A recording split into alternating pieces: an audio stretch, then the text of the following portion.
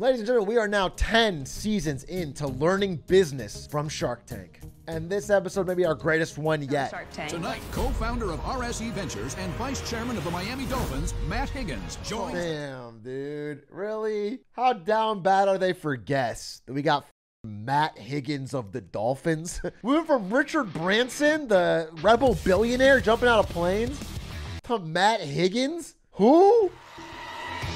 Next up is a simpler way to invest in the hottest new craze.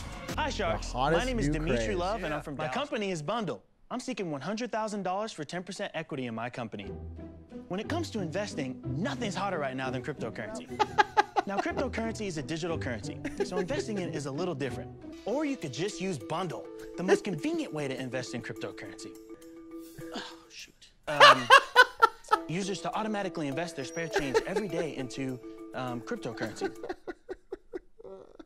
All right, look, cosmically, I don't know how this goes. But if this guy is somebody who's deeply into crypto in 2018 and doesn't make money, you have to fumble the bag so hard. You're doing You're great. good, Dimitri. You're doing great. Cool, You're cool, good, cool. Dimitri. You look great. Thank you, Dimitri, thank you. this is the biggest moment in your life. I agree. I agree. Bundle is a mobile does that help application him? that allows you to invest your spare change from everyday purchases directly into crypto. Okay. Um, just keep doing what you're doing, leave the complicated math and algorithms behind, and Bundle will take care of the rest and make bundles of cash. Way to figure it out. Yay. Good, Ah, stuck the good finish landing. there. Do you think Anyone that's trying to invest in cryptocurrency has to go through all these steps. 2018 was the first big, it was like around the Thanksgiving crash, right? Then it spiked and then fucking massive dipped. But what I'm saying is, if this guy had taken all the money he spent on this fucking project and just bought Ethereum in 2018, and then obviously had the uh, foresight to sell in 2021, that would have been incredibly more profitable than trying to make this fucking company. um, to try and How are you going to get customers? um, so we can actually advertise on Facebook. That is uh, one big thing. That's a very Bro, this is just this fucking idea you had. There's no business here at all. Your big plan is we could advertise on Facebook. That's a big thing. So our customer acquisition costs are actually only two dollars and seventy-seven cents. How do you now. know How do that? you know that? We have about 360 users, and we've put thousand dollars into marketing.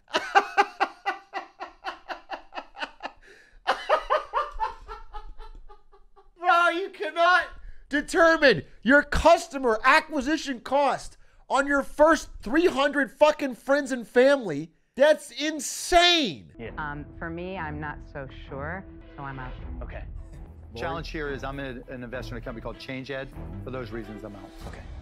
I think the, the What was this digital currency space is here to stay, but it's still just the wild, wild west. So I think it's a little too early for me. I'm out. Okay. Thank you. Here's my offer. I'll give you $100,000. I want to be a 50% partner. And Wow. I'll tell you why. You are going to be stunned at how expensive it is to acquire customers. Take it and working. run, dude. I pour gasoline. Hey. I put millions of dollars. Fucking rug pull his ass. Holy shit. Hit him with a classic crypto rug pull. Take that 100K, give him fucking 90%, and then just dip. That's that. You finally make some money off of that shit. Fair. Zip it, Yeah, It's just too early. Um, it's Let him take Kevin's in my money. opinion, and for that reason, I'm out. It's your decision. Your business makes no sense. Take it. Dimitri. Kevin, I'll accept your offer. Yes, fine, Dimitri. You made the right decision, my friend. You made the right decision. Easily cla- Kevin just paid two hundred and seventy-seven dollars per user. fucking three sixty users, head ass, no profit, stupid fucking company. There's no evidence this deal with Kevin even went through or closed, unfortunately. And uh, this company, while maybe still in business, has no reviews. They're looking at, even with the Kevin marketing machine, they're looking at 437 followers on Twitter. Ethereum versus Solana. Which one are you choosing? And there's four votes. For a thousand dollar Bitcoin giveaway, they got two votes. Yes and no. I don't want a thousand dollars. Hello, Sharks. My name is Guy Vaknin, and I'm the chef and owner of Beyond Sushi. I'm seeking a $1.5 million investment in exchange for 25% of our plant venture on the West Coast. Wait, excuse and me? 5% of our current operation on the East Coast. Excuse Coast. me? Uh, we have the Mighty Mushroom, which has uh, four grain rice, uh, baked tofu inside shiitake, gnocchi, uh, and it will cost you 750. It cost me about a buck 50 to make. I love it. The whole idea of this, it's a commissary-based business. So we have one big kitchen that supplies everything. Uh, And the restaurants could be as Oh, wait, I really like that. When he's got one big kitchen in all of Manhattan pumping out these vegan rolls, he can ship them to all the different locations. They don't need to have on-site chefs. I mean, that's in the right market. That's a pretty good model. Chef, I understand the space really Yes. well. Stay with me on the Yes. unit economics, No right? problem. So you know an ideal QSR Yeah. or you know fast casual restaurant should be doing 20% profit. so funny. Yeah, I'm actually learning a little bit from Higgins here. He clearly knows more about the restaurant business than me, and I'm actually watching. And every other shark's like, "Fucking shut up, nerd." and Daymond just wants to say that he's out and talk about the guy's fucking appearance. Yes. Matt asked you, what, what did you ask him? What is his PR, QR? QSR, quick service restaurant. I had no idea what any of that was, for that reason, I'm out. Thank you. I think are insane. The valuation's insane. I'm out. And, you know, I didn't see a clone anywhere coming up in the pitch. So my gut's telling me no, I'm out. And then I'm paying 1.5 million Yeah. for what may or may not work. We all intuitively feel like you're going to do great yeah, out here, right? But I don't yeah, know. Yeah, that's the weird part is like, you know, the business is doing well in New York, and you'd want a bigger piece of that if you're going to invest. You get 5% of that, and then 20% of what might happen when he launches on the West Coast. And uh, Lori and I are going to come into this deal together. We're going to work together to change your life. The offer on the table is 30% in LA, 15% in New York, and you have a deal. You get the entire He's network, but I need to be incentivized. Hey, the nerd is sharking. Let's do it. Oh, wait a minute. I feel like I witnessed a real bit of sharking there. Okay. Beyond Sushi seems to be doing quite well for itself following his appearance on Shark Tank. They opened six more locations in Manhattan. It seems like a pretty good overall, pretty good deal. Pretty good investment. He denied the deal in post? Oh, interesting. Let's see. Oh, the deal with Matt and Lori never closed. So he basically did it as an ad. Goat. Outsharked, my friend. My name is Sarah Polon, and I am the CEO and co founder of Souper Girl. Sarah's mom, CAO, Chief Anxiety Officer. We're here from Washington, D.C., and we're asking for $500,000. Kevin. Kevin can't even give a f- pity smile. Kevin wrote a note in his book. Bad humor. for 10% of our company. Oh.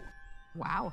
Wow, big valuation. And most of you know, most commercially available soup is not as healthy as you might think. The, the curry peach is fantastic. Thank you. What's your background? Back in 2008, I was a former stand-up comic looking You for a good bowl of soup. when she was a stand-up comic. Kevin's note makes sense now. Ooh. Give me the sales. Well, let's talk about 2016, 1.4 million. Sales in 2017, 2.4 million. Okay. We're on track to do 3.4. What Exploding. did you make and- last year on that 2-4? How much did Oh, you make? about 5%. Ouch. I think he's just trying to like intimidate her or something because if they're in their first years of growth, of course they're gonna have lower margins. They reinvest in everything to grow. He's basically saying that they don't have a huge amount of margin, they're not printing a lot of cash, but that's more for when they get much bigger. Meet the Super Meals program. Okay? Oh, What we interesting. do is ah. we deliver, and the five day has Oh. 20 soups. Recurring People revenue day, subscription in 2018. Well, or Sarah, that's a 41 multiple on a soup business. no soup for you. She was saving that for when planet things got dark. So there's two reasons why we don't want to use a co-packer. Number one, we're certified kosher, and There you will are not kosher find There are kosher co-packers. not that can do this quality. Trust me, we've talked to them. As they put in those giant colanders, But they're doing it wrong. nobody does this. I kind of You admire any- being that committed to your food's quality, especially when you're on Shark Tank and it's like a TV ad for your product. So if you're like fighting on TV with the sharks because you want to have perfect quality, then everybody watching thinks, "Oh man, that soup's probably pretty good quality." Yes, you don't need to know. How much do you think you're going to have to pay to get that done? Yeah. About $100,000. That's about, No. That's about right. $1,000 for equipment to optimize. Wait, this guy is just he's too boring for this show. He doesn't understand that every shark has to say something stupid every fucking five minutes to keep things going, dude. Perfection is the enemy of profitability. I'm out. The business is worth about $750,000 right now. That's, That's what a buyer would give you for it. I'm out. You would have to do $100 million just for me to get back $500,000. For that reason, I'm out. They're, I, this is all is wrong, and they're playing like they're. I don't know if they're trying to like intimidate or do a lower value or what, but it's not. They're being dumb today. You invest in a business like this not for the pure fucking net free cash flow, but because you can resell the business probably to a big fucking larger grocery chain or, or fucking packaged goods company that'll that'll have a good brand. But I don't think at the moment it's a big business and I can get a big return on it. So for those reasons, I'm out. Okay. I think the Souper Girl logo and name is fabulous. Yeah, Thank yeah. you. It's very cute. I, I Lori's the smartest shark, dude. Lori's getting it. Listen, at the end of the day, this is like if they have a good brand and they're selling, then you can figure out how to fucking slam the margins and, and sell out, cash out. You want everyone to think the quality is great right up until you sell out. you know what I'm saying? So what they're doing is actually smart. I mean, if she's never gonna sell, then I guess it's a problem. But One thing that for me is not great. Great soup, but as an investor, I'm out. uh, delicious soup with a good brand. How did it end up? Souper Girl, bad comedy. In 2020, Souper Girl managed to raise far more than their initial request of $500,000. In a Series A fundraising round, they rose $2 million from founders of other healthful food brands. Uh, it seems like they just didn't want to be in the soup business with unfunny people. I don't know why Mark Cuban was talking like they're fucking on death's door with three million in sales and a five percent profit margin. Like it's not. He Wait, put what happened everything on hold when our mom was diagnosed with stage four breast cancer. She battled for two years. mom got cancer, but the lost her dad's to idea? Cancer on August 22nd, 2012. But in 2015, he was diagnosed with synovial sarcoma, Jeez. a cancer that developed from being a fireman in the cleanup of 9/11. Jeez. And we're the Young Family. To tell you more about our dad's invention, here's a video our dad made about demoing the Cupboard Pro. I'm gonna take all these scraps. They're gonna Okay. go right into the cup. I didn't have to put a bowl under my board. I didn't have to stop. So Who's ready to make our dad's dream a reality with us? Are they all crying? Um, on August They're making everybody cry. And then um, my dad took a break with the cops, and he did it. Fucking Higgins the robot, dude, trying to fucking muster up a tear for the camera. Higgins with a big sigh, trying to get something, trying to get fucking and something he was a out. two-time um, he was on hospice in the beginning of the year, and he just passed away three months ago. If Higgins comes in with a okay, but what's your QSR margin? So your dad wanted to come on Shark Tank before he Right. Yes, that was actually his audition video. And on 9/11, where was he? Uh, which part He of the was city? part of the cleanup for that, What? and over 2,000 firemen are Why are you actually smiling currently at this? sick. Bro, Higgins, what is your fucking problem? What what why are you like giving a big fucking smile at, at 9-11? Where was he? He's part of the fucking cleanup, dude. You already heard. What a psychopath. He was there for that, and over 2,000 firemen are actually currently. What the hell? 9-11, okay.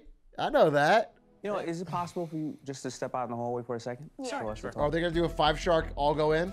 But rather than us fight it all out, we decided to work together. $100,000 for 20%. And each one of us is going to contribute $20,000. Any profits that we earn from our 20%, we're going to contribute to whatever charity your dad supported. Oh my gosh. we So are what do you we're think? gonna That's work- our offer. Imagine they say no. Ooh. Can we get that equity number down, Mark? Love where your head's at. Love that we got the Sharks here. Uh, let's get serious though, bitch. Don't try to fucking lowball us, Cuban. They've sold a million dollars worth of the Cupboard Pros. Not sure where it went from there. They sold to William Sonoma. Perfect. Oh yeah, William Sonoma created and sold the Cupboard. Yeah, so they just they kind of just so they handed the business off. They no longer have to operate it, and they probably still make a cut. So yeah, that's awesome. Uh, yeah, big dub for the kids, and uh, you know, big dub for the dad, whose idea, you know, is help paying probably for his kids' college. Uh, all right, chat. That's the end of the day. Thanks for watching. Check it, check it.